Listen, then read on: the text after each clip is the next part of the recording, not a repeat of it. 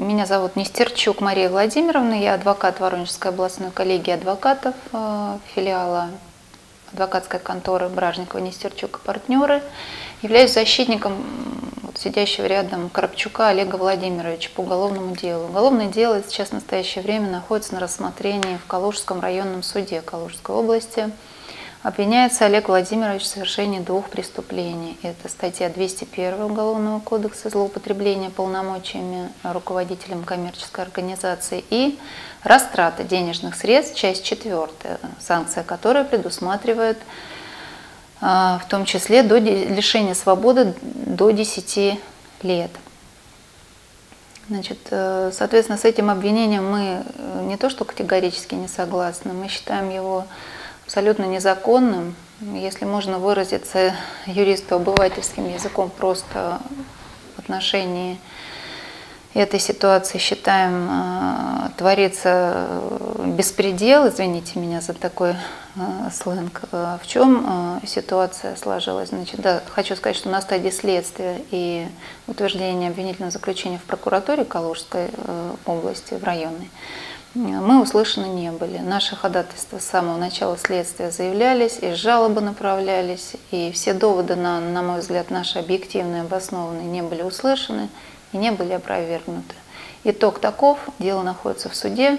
Олег Владимирович, э, пенсионер военный, полковник в отставке, уважаемый человек, э, является подсудимым, находится на скамье подсудимых. Какой будет итог, естественно,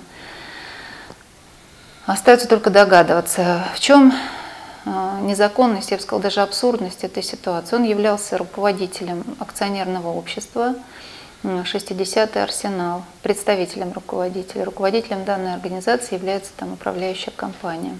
Акционером а, данного предприятия является Российская Федерация. Вид деятельности, чтобы просто было понятно, ремонт э, и обслуживание военного оборудования. То есть, иными словами, данная организация осуществляла э, гос, госзаказы по ремонту и обслуживанию оборудования. То есть такая специфическая деятельность. Олег Владимирович у нас следующий человек в этом вопросе. Из февраля по сентябрь 2016 года, верно, он являлся по доверенности представителем руководителя данной организации. В этот период времени, еще даже задолго до этого, была реализована федеральная целевая программа, согласно которой э, в адрес АО «60 Арсенал» был, были выделены денежные средства Министерством обороны на развитие предприятия. Согласно федеральной целевой программе, каждый руководитель обязан был э, придерживаться ее, соответственно, осваивать бюджетные деньги и осуществлять действия, направленные на реализацию этой федеральной программы. Вот следующим этапом, как раз когда он был назначен руководителем,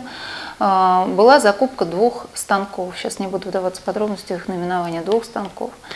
А, при этом была утверждена сметная документация, их стоимость по состоянию на 2014 год. И а, Олег Владимирович, действуя в интересах, соответственно, этой организации, все как полагается, принимает решение о закупке этих станков и действует, согласно указанию руководства, на основе федерального закона 44 -го который регламентирует порядок э, проведения торгов и закупки.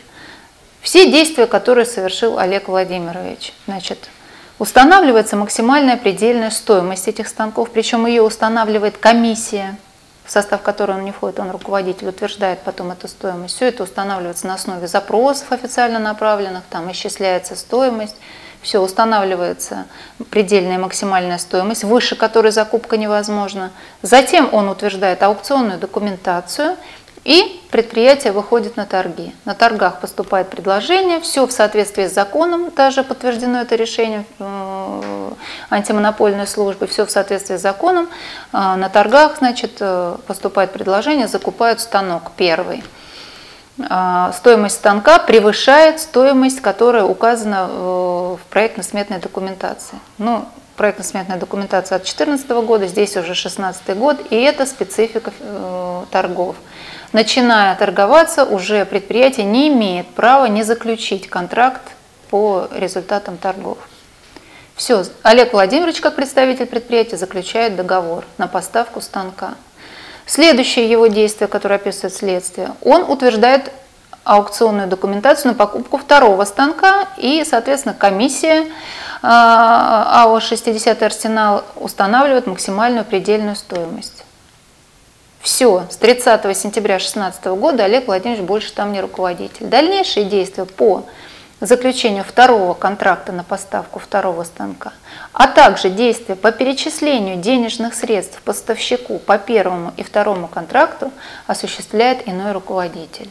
Что мы видим из материалов дела? Олегу Владимировичу вменяется злоупотребление полномочиями, якобы он по завышенной цене купил эти станки – и хищение денежных средств, вот э, хищение денежных средств, потраченных на закупленные станки, то есть той разницы, которая превышает проект, э, в цене проектно-сметную документацию. И это вменяется ему, несмотря на то, что Олег Владимирович второй контракт не подписывал, несмотря на то, что денежные средства он не перечислял и не принимал таких решений, несмотря на то, что он действовал в рамках федерального закона 44-го, несмотря на то, что он а, не утверждал предельную максимальную стоимость, а это решение принимала комиссия, целая комиссия на основании конкретных коммерческих предложений, все в рамках закона. То есть единственное, что сделал Олег Владимирович, он принял решение об участии на торгах и заключил первый контракт по цене выше, чем в проектно-сметной документации. И следствие почему-то решило, что это является преступлением, а точнее квалифицировало его действия одни и те же по двум составам преступления. 201 статья Уголовного кодекса злоупотребления и 160 статья – это растрата а, в особо крупном размере, это четвертая часть, это тяжкое преступление. В общем-то, абсурдным представляется то, что э, вообще можно было человека обвинить в совершении преступления, какого-либо вообще сотрудника данной организации, по той причине, что нарушений никаких допущено не было. Все, все действовали в рамках закона. Главное еще уточнение в этом моменте. Да, действительно, закупочная стоимость двух станков была выше, нежели та, которая предусмотрена в проектно-сметной документации. Но самое главное, что было а, подписано дополнение к техническому заданию номер 4, насколько я помню, утвержденное всеми руководителями управляющей компании, а также заместителем министра обороны Борисова, которые утвердили эту стоимость, по которой закупили в итоге станки. И эта стоимость была утверждена в том числе заместителем министра обороны. Парадокс. Здесь у нас в деле представителем, одним, одним из представителей потерпевших является представитель Министерства обороны, э, юристом с местного военкомата в Калуге. Э, что может меняться здесь в вину, мы просто себе не представляем. Преступления как такового не было, и Коробчук, как руководитель, который даже в тот период, когда перечислялись деньги, осуществлялось распоряжениями, заключался второй контракт, не являлся даже руководителем. Согласно ФЗ 44, любой руководитель, будь там он или кто-то еще, не имел права, не имел права не заключить этот контракт тогда, когда уже торги состоялись, понимаете? И э, стоимость этих станков, да, она действительно выше, она была утверждена во всех инстанциях, в том числе заместителем министра обороны. Поэтому э, полагаем вообще обвинение просто абсурдным, несостоятельным. Э, все обстоятельства не то, что не доказаны, они даже не установлены, а точнее установлено в деле обратное.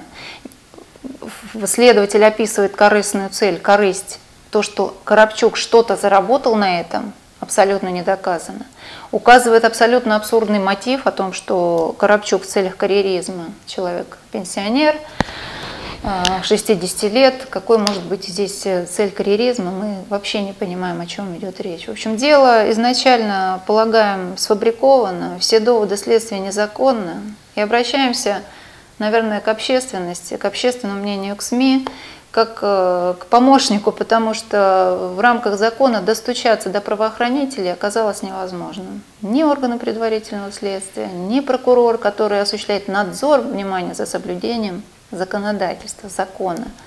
Просто не опроверг наши доводы и не принял их, и просто на основании закона не рассмотрел и не сказал свою позицию. Дело направили в суд, Теперь э, с учетом минимума процентов оправдательных приговоров мы будем пытаться, конечно, достучаться до суда и доказать его невиновность, но считаем просто необходимым это как-то отразить в средствах массовой информации.